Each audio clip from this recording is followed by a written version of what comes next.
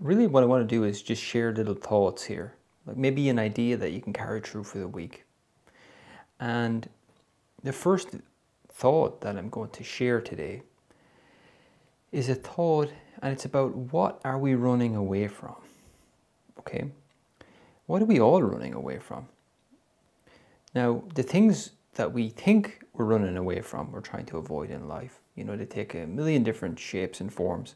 It could be a disaster in my job, it could be a difficult boss I'm dealing with, it could be a relationship breakdown, it could be poor health, it could be financial catastrophe, you name it, right? There's a million of these things that we think we're trying to avoid in our life. And I want to kind of simplify it a little bit for us here. Because I think what we're all really running away from are our own feelings and our own emotions. All those catastrophes will come with an associated emotion, a sensation in our body. So we're running away from our feelings. We have a real preference and we should, you know, chase joy and chase what makes us feel good in life. But another aspect to our work here can be to look at what I'm trying not to feel. And here's the thing, here's the here's where a profound change can take place with this. What if I started to instead of run away from those feelings, seek them out proactively and go right into the middle of them, right into the heart of that tornado that I have not been dealing with. When we can do this, I think it's very different because typically, you know, it, there's this dynamic of I'm running through my life and I'm trying to stay away from these emotions and I hope that these feelings kind of don't catch up with me and I'm trying to avoid them and run from them. But if we just stop for a moment and we just turn around and go, no, you know what, I'm going to go right into these feelings. Now, by the way, what I'm not talking about here is going out there making things worse for yourself, okay? I think that's simplistic and it involves kind of repressing your feelings, really. This is not about repressing my preferences to feel well, feel good. But what I'm talking about is something you can bring into your practice.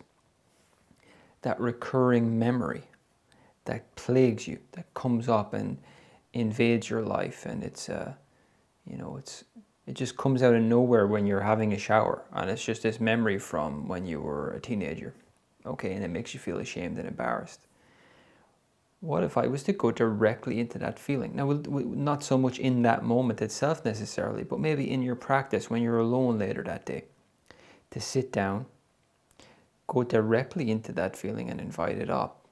And there's deeper work we can do around that, but we're actually coming out of our head and directly into the experience of that emotion in our body. Sometimes it can be good to have someone to facilitate you through that type of work. But in general, we do a lot of that work by ourselves. It changes the whole dynamic of our lives. We're no longer now trying to run away from things that we find uncomfortable emotionally. Really, what we're looking out for is yes, those intrusive memories, but any trigger that we've had throughout the week. We now start to get very, very interested in these triggers. It's like, okay, what was that anxiety there? Because in the moment, let's say something comes up and you start to feel anxiety you're in the moment trying to deal with life, right? So in our own practice, we can say, you know what, that, that moment of anxiety, can I go back into that moment, close my eyes and just be fully present with that emotion? And see what that emotion really wants to tell me. In this work, we're really trying to slow down that moment. In the moment when we're dealing with it, it's all we're pushing through it, we're just trying to deal with things as they are. But in our practice, we can just really fully feel that feeling, proactively go into it.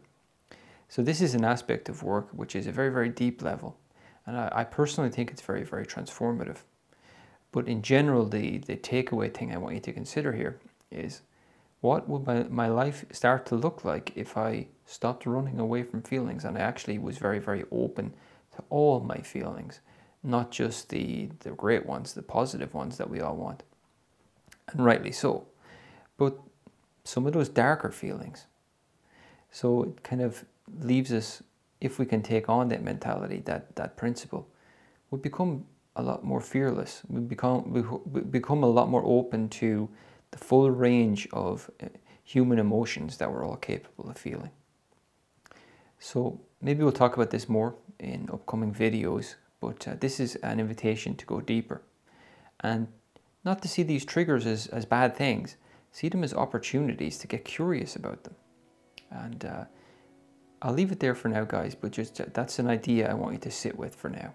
And uh, until we talk again, take care of yourself and be well.